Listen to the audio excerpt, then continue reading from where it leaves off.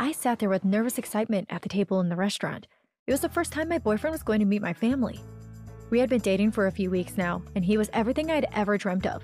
He was good looking, funny, and one of the most popular boys in the school. I couldn't believe it when he asked me to go out with him. I just hoped that my family would like him as much as I did. Tom leaned over to me and whispered in my ear, Oh my god, you're not gonna believe this. The ugliest girl I've ever seen in my life just walked in. I turned to see who Tom was looking at. Who? I asked him. Over there, he said, pointing. See the girl with the red top on? The blood drained from my face. Tom was pointing at my identical twin sister. But before I go on, make sure to like and subscribe and hit that notification bell so you don't miss out on any more shocking stories. My mom, dad, and sister came over to our table. This is Tom, I said to them. Tom, this is my mom, dad, and my identical twin, Diana. Tom shook my dad's hand. Hi there, he said, full of charm. He turned to me and whispered, Did you say identical? You don't look anything like her. Oh, I do when I take my makeup off, I replied. Tom just laughed, but I felt terrible. The rest of the evening went really well for the others. I think that my family really liked Tom. My dad paid the bill, and we got up to leave. Do you want to come back to our house and watch a movie? I asked Tom. Oh, sorry, Michelle, I can't, he said. I need to get home. I have so much stuff to do. Okay, see you in the morning. Tom's really nice, said Mom as we drove home. Yes, a very polite young man, said Dad. Yes, I think so too, I said happily, although what he had said about my identical twin sister was still imprinted in my mind. The next morning, I went downstairs to the kitchen.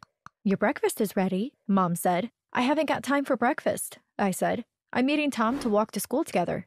I walked to the corner and stood there waiting for Tom. I kept on looking at my watch. It was getting late. If he didn't come soon, I would have to leave or I would be late for school.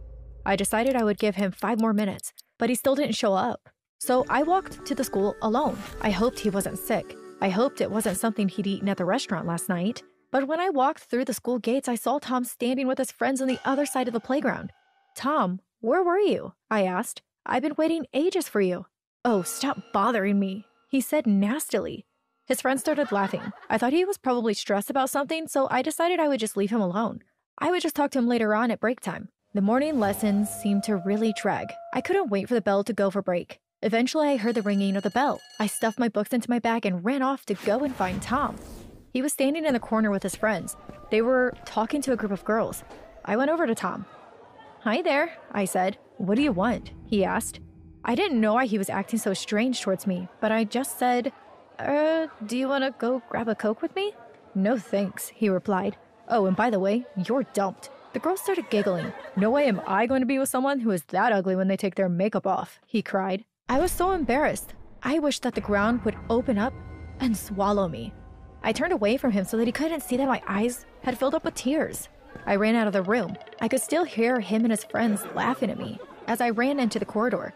I hadn't gotten very far when I bumped into my twin sister Diana. What's wrong? she asked. Why are you crying? I told her how Tom just dumped me in front of everyone. He thinks we're both ugly, I told her. He's the one who is ugly, Diana said. He is ugly inside. What a horrible piece of work he is. Don't worry, he is going to pay for this. One day we will get our revenge on him. It wasn't long after that we got our chance to get him back. Our school was holding a talent contest. They had put a notice on the board, and if you wanted to enter, you just had to add your name to the list, saying what your talent was. I went to have a look at the board. Sure enough, the first name on the list was Tom's. He had written that his talent was playing the guitar. I went to look for Diana. I knew Tom would enter the talent contest, I told her. He is such a show off. I knew he wouldn't be able to resist being in the spotlight. I bet he thinks he'll win. I already had a plan worked out. I told Diana all about it. We will both climb the ladder to the deck above the stage, I said. Then, when Tom comes on, we will drop slime and feathers on top of his head. On the night of the talent show, Diana and I made sure we got to the stage early. We climbed the ladder and waited on the deck. Finally, it was Tom's turn to perform. He walked onto the stage with his guitar. He was smiling. He looked so confident that he was going to be the winner. As he was about to start playing, I shouted down to him, Hey Tom, this is for calling my sister ugly. With that, Diana tipped the bucket of green slime straight on top of his head. I quickly threw the bucket of feathers right after her. He looked horrified. Slime was dripping down his face, and feathers were stuck all over him. Everyone in the audience was laughing. Tom looked so embarrassed. He ran off the stage and out of the room, leaving a trail of feathers behind him. It was a few weeks after that, Diana started acting a bit odd. I wondered what was the matter with her. Usually we spent lots of time together, but recently she never seemed to have any time for me. She didn't even hang around with me at school. One day I decided that I had had enough. I decided I would go and find Diana and make her have lunch with me. I was walking towards the dining room when suddenly I saw Diana. She was talking to Tom. I wondered what on earth was going on. Diana was giggling at something Tom had said, but then he winked at her. I couldn't believe it. Tom was flirting with Diana and she seemed to be lapping it up. How can she do this to me? I thought. I went striding over to them. What are you two doing? I cried. Diana looked a little guilty, but she just put her head down. What does it look like we're doing? replied Tom. I'm dating your sister now. Is it true, Diana? I asked. She nodded her head. I'm sorry, Michelle, she said. We just fell for each other. No hard feelings. I stormed off. I couldn't believe it. I was never going to forgive them for this. When Diana came home from school, I went into her room.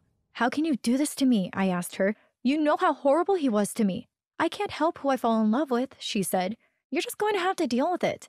I don't want anything more to do with you, I screamed at her. Well, it's lucky that I have Tom then, isn't it? She shouted back. I heard the door slam and I watched as she went down the street. Tom was waiting for her at the corner. I saw him put his arms around her and pull her towards him. She started talking to him. I bet she's telling him everything I just said, I thought to myself. It was about an hour later when I heard the door open. I went downstairs and saw that Tom and Diana were in the lounge. As I went into the room, Tom pulled out his telephone and started videoing himself. Hey guys, he said. How cool am I? I used to date her. He pointed the camera at me. They tried to prank me, and now I'm dating her twin sister. He was literally vlogging this. At that moment, I couldn't believe I had ever fallen for him. I looked at the camera. Oh, no. I exclaimed sarcastically. My sister has betrayed me. But then Diana knocked the phone out of Tom's hands. You're wrong, she said to him. You're the one that has been betrayed, Tom. Tom looked at her in confusion. What do you mean? Do you remember the night we were at your house and we sat up, talking all night? She asked. Well, I secretly recorded everything you said. Tom's face turned white. He looked at me. I told him how we had it all on tape. How he had said so many mean things about everyone at school. He had even said that he hated anyone who was fat or ugly. He thought that only good looking people like him should be allowed out into the world. We're going to publish the recording online, I told him. When everyone hears what you have said, no one will want anything to do with you ever again. What are you talking about? Tom said. I would never say anything like that. Why are you trying to deny it when we have the proof? asked Diana. So let me hear it then, said Tom. We played him the recording. As he listened to it, his face fell. You're right, he said. It definitely sounds like me, but I promise you, I would never say anything so mean. Yes, you would, I said. Don't you remember the night you met my parents? You said my sister was so ugly. But I've never met your parents, Tom replied. The night we were supposed to go to that restaurant to meet them, I ended up sick in bed with a stomach bug. I told my brother to call you and let you know. I was confused, but I felt sure he was lying. Okay, well, what about when you dumped me in front of all your friends? That was so mean. Are you serious? he asked. You're the one who dumped me. I woke up late that morning, and by the time I got to the corner to meet you, you had already left. I ran to school. I felt so bad. When I got there, my brother told me that you had dumped me. I was so sad. I looked at Diana. There was no way we could trust Tom. He was a horrible guy, and I knew he was just trying anything to stop us from putting the recording out online. Don't believe him, Diana. He's only interested in himself, I said. Okay, said Tom. I understand you're suspicious, but please just come with me and I'm sure I can explain everything. I looked at Diana. I wasn't sure what she would do, but she nodded at me. Okay, I said. You have one chance to explain yourself, or this is going viral. Diana and I followed Tom. We went to his house. What are we doing here? I asked him.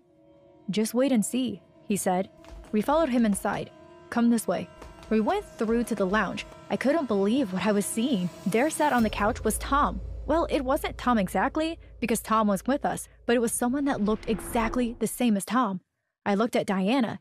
She was looking just as confused as I was. Meet my brother Tim, said Tom. Tim looked up. His face dropped.